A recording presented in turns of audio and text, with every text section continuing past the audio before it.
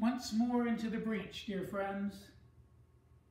Sorry, that's a line from the wrong Shakespeare play. But this is about Shakespeare again. Two days ago, we talked about meter, and you spent some time trying to figure out what the rules might be for Shakespeare's meter.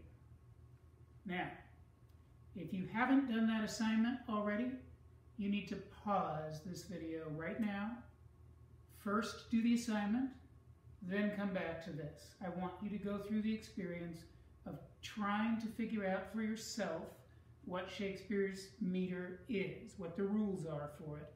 And then you can watch this video and I'll tell you. Remember, you're not going to lose points if what you come up with is not the same as what I'm about to tell you. Okay, if you're still watching, that means that you have spent some time trying to figure out Shakespeare's meter. So, here we go. Here are some lines from Twelfth Night. I am going to read them, and I'm going to exaggerate which syllables are stressed and which ones are not. Ready? Here goes. If music be the food of love play on.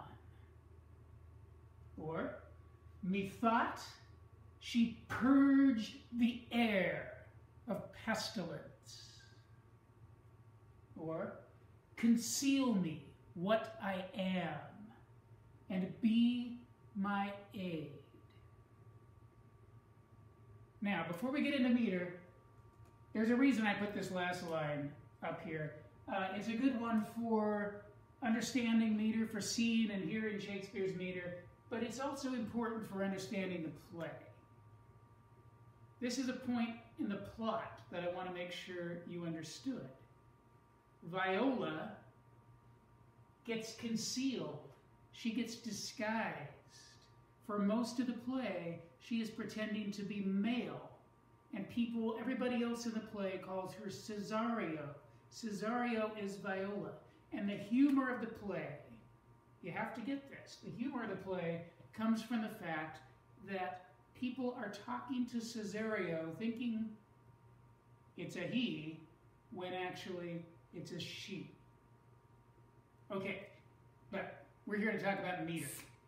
I read these with exaggerated emphasis. Now I'm going to mark it. If music be the food of love. Play on. Play is pretty strongly accented. You could probably put another accent there, but it's not as accented as on. It's play on. Bum bum. Methought she purged the air of pestilence.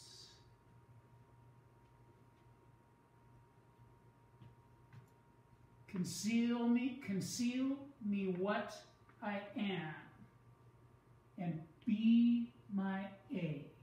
Do you see the pattern? It's unstressed, stressed, ba-bum. We call that iambic. I'm going to ask you about this on a quiz next week. Iambic just means ba-bum. It's that pattern, unstressed, stressed. How many times per line? Ba-bum, ba-bum, ba-bum, ba-bum, ba-bum. Five. Five iambic feet per line. So, fancy word for five?